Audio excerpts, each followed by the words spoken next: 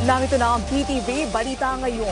Tiniyak ng Commission on Elections na hindi masasayang ang kanilang biniling election supplies at paraphernalia kasunod ng postponement ng barangay at sangguniang kabataan elections. Ayon kay Comelec spokesperson Attorney John Rex Laudianco, itatabi sa Comelec warehouse ang mga election materials at paraphernalia upang magamit pa sa 2023.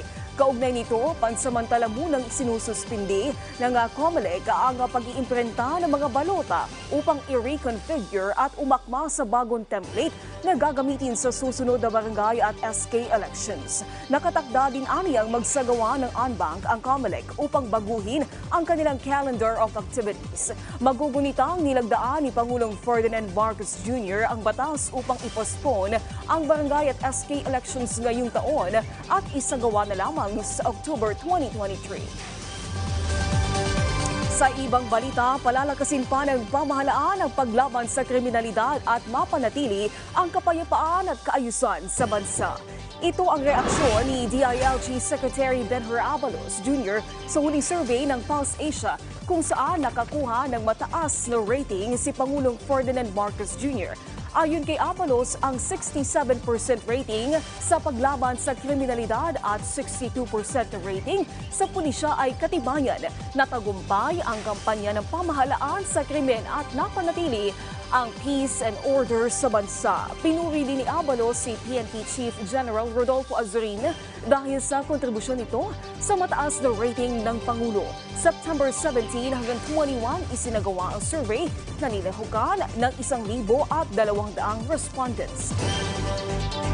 Samantala, kalaboso ang isang 24 anyos na drug suspect matapos salakayin ng mga operatiba ng Philippine Drug Enforcement Agency o PIDEA ang bahay nito sa Lecaros Extension Ugak Sur, Tugigaraw City nitong Martes.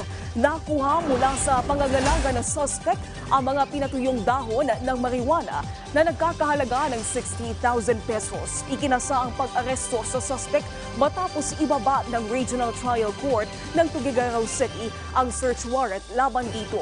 Nahaharap ang suspect sa kasong paglaba sa Comprehensive Dangerous Drugs Act of 2002.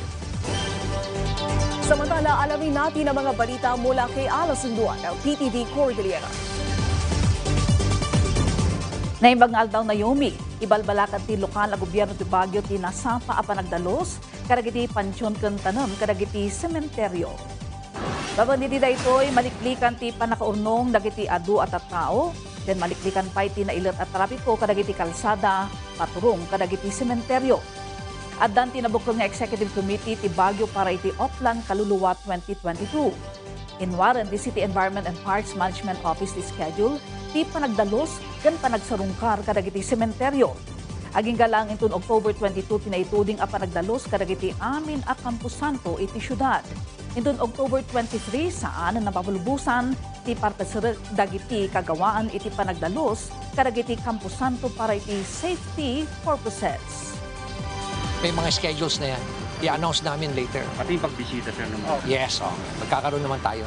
But And this time, siguro hindi na rin yung sistema na, i- na ginawa natin last. May mga, medyo may, may mga changes ng konti na. Considering the fact na nag improve naman na yung ating COVID-19 situation.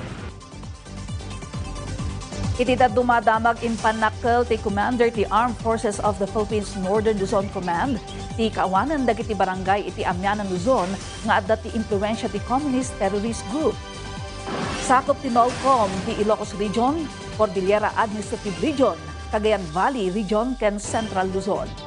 Iti Pebrero itatawan na ideklara nga insurgency-free ti intero nga Ilocos Region.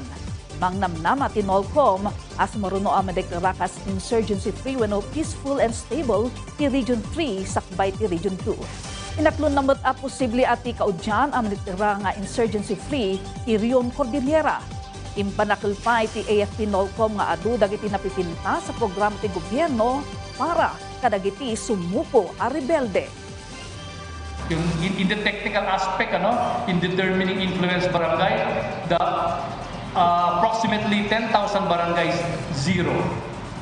And all of these barangays have declared the CPP, NPA, NDF persona non grata. Dagitati damdamag manipod iti PTV Cordillera. Siyak ni Ala Sunduan. Balik sa'yo, Naomi. Maraming salamat, Ala Sunduan. At yan ang mga balita sa oras na ito. Para sa iba pang update, i-follow at i-like kami sa aming Facebook at Twitter accounts sa at PTVPH. Ako po si Naomi Tiburcio. Magandang umaga.